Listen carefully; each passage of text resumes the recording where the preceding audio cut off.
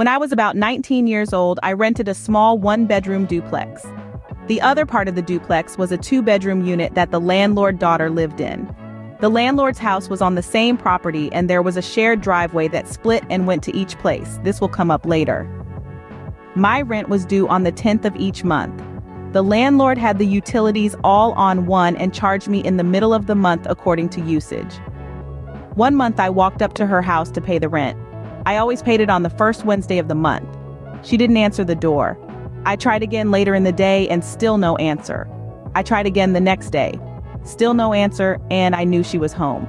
This time I had the check in an envelope and left it in the door slot. This was on the 6th of the month. I had a feeling something was up. The landlord was avoiding me. The next day I came home from work and there was a 24 house notice to vacate for non-pay. I tried contacting the landlord, she wouldn't respond. This was on the 8th of the month.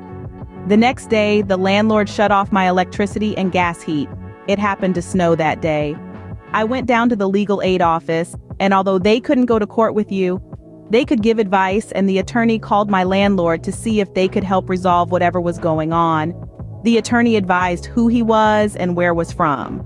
The landlord barely let him get this out. She started screaming at him so loud I could hear her. She said no FGov employee or anyone was going to tell her how to run her properties and hung up. The attorney looked at me and said, we're going to fry her a asterisk asterisk. This where the driveway comes into play. It is a single dirt road which splits and goes to my place or farther to her house. By the time I got home and was pulling in my driveway, there was sheriff's car in front of her house. Apparently, the legal aid attorney had filed a restraining order against my landlord due to her shutting off my gas heat, which was a threat against me. The landlord called legal aid and she was told she needed to get an attorney since she wasn't willing to work with a goved employee.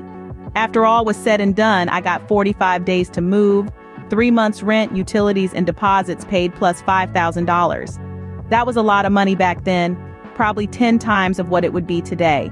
And the reason for all of this? Her other daughter was moving from Hawaii and she wanted the unit for her. Instead of just giving me a 30-day no-cause notice, she did it her way and it cost her a lot of money. I never did talk to her again. But I do know she couldn't use her driveway until I moved.